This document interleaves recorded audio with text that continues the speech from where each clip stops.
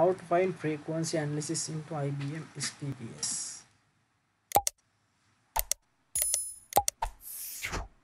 අද අපි බලමු කොහොමද ෆ්‍රීකවන්සි ඇන්ලිසිස් එකක් රන් කරන්න SPPS එක කියලා frequency what is frequency analysis in SPPS frequency analysis is a descriptive static method that show the number of occurrence of each respondent chosen by the respondent when using frequency analysis SPPS statistics can also calculate the mean median and mode to help users analyze the result and draw conclusions.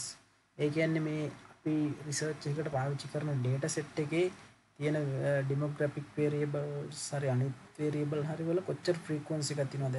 අපි හිතමුකෝ gender ගත්ත කියලා gender එකේ mail female ලා කොච්චරක් ඉන්නවද? Mail female percentage එක කොච්චර රීප්‍රසන්ට් වෙනවද ඊට පස්සේ ඒජ් ඒජ් කැටගරි කොච්චර රීප්‍රසන්ට් වෙනවද පර්සන්ටේජ් වයිස් ඒ වගේ අපිට ඕනම වේරියබල් එකක් ෆ්‍රීකවන්සි එක එකේ බලා ගන්න පුළුවන්. හරි. අපි බලමු මේක කොහොමද මේකේ ස්ටෙප්ස් ටික කියලා. Frequency analysis.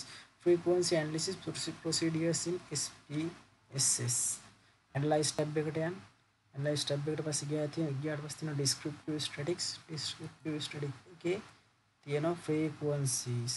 ඒකට යන්න හරි අපි බලමු දැන් මේක කොහොමද අපි කරන්නේ කියලා හරි මේ තියෙන්නේ IBM SPPS එකේ variable view එක මම මේ variable view එක කොහොමද හදාගන්නේ කියලා ඉස්සෙල්ලා පළවෙනි වීඩියෝ එකේ මගේ කියලා තියෙනවා ඕන කට්ටියට වීඩියෝ එක බලා ගන්න පුළුවන්. හරි අපි දැන් බලමු ෆ්‍රීකවන්සි ඇනලිසිස් එකක් කරන්න කොහොමද කියලා.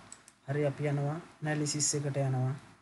ඒකේ ඩිස්ක්‍රිප්ටිව් ස්ටැටික්ස් යනවා. ඩිස්ක්‍රිප්ටිව් ස්ටැටික්ස් ගිහිල්ලා uh, ෆ්‍රීකවන්සිස් යනවා. හරි. ඊට පස්සේ ෆ්‍රීකවන්සිස් වල ඕපන් වෙනවා මේ වගේ ඩයලොග් බොක්ස් එකක්. මේකේ තියෙනවා මේ ෆ්‍රීකවන්සිස් අපිට ගන්න ඕන ටික. gender age height qualification years of using hours of using intake. හරි අපි බලමු ෆ්‍රීකවන්සි එකක් ගන්න කොහොමද මේ තියෙන ඉන්ඩිපෙන්ඩන්ට් වේරියබල් වල ෆ්‍රීකවන්සිස් ටික අපි කොහොමද? හරි. මම සිලෙක්ට් කරනවා. මට ඕනේ ඔක්කොම ෆ්‍රීකවන්සිස් වල ගන්න. මෙතන තියෙන ස්ටැටික්ස් බටන් එකක්. ඒකෙන් කොහොමද ගන්න ඕනේ කියලා අහනවා ෆ්‍රීකවන්සිස් වල. ඒ කියන්නේ අපිට ඕනේ ෆ්‍රීකවන්සිස් වල ගන්න ඕන ටික. මීන් මීඩියන් මෝඩ් සම් ඒවා ස්ටෑන්ඩඩ් ඩීවියේෂන් මිනිමම් මැක්සිමම් මේ ගොල්ලෝ කැමති එකකට මෙතන දාන්න පුළුවන් ටික් එක.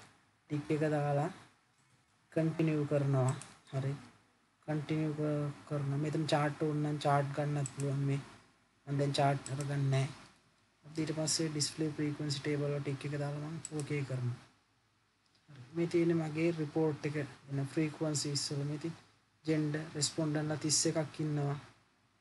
mean ඒ හැම එකේම mean median standard deviation මේ ඔක්කොම ඇවිල්ලා තියෙනවා. මේ gender වලට ආපු frequency table එක මේ ෆ්‍රීකවන්සි මේල්ලා විසි එකක් ඉන්න ෆීමේල්ලා දහයක් ඉන්න ඔක්කොමල්ල තිස්ස එකක් ඉන්න මේල්ස්ලා ඔක්කම් පොපිලේෂන් එකෙන් සියට හැට හතක් රීපසන් කරනවා අනිත් කට්ටිය තිස් දෙකයි.